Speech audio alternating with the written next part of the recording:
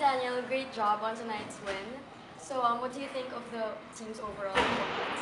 Well, I reckon I reckon we did unreal. Like it's been a been a while since we played a really good game, and the boys just came through, played with their hearts this game, and yeah, it just as you saw it, we turned up and showed on the scoreboard. Uh, what do you think they have to work on in order to get the same results as you take on Perth Thunder again next week? Um, look, we've got a lot to work on. Like, there's still like little things that we need to build on. But if we keep going the way like we played that game, we're gonna we're gonna keep going the way we are. We're gonna keep the ball rolling. Yeah, definitely. Um, thank you so much and congrats again on your win. Thank you very much.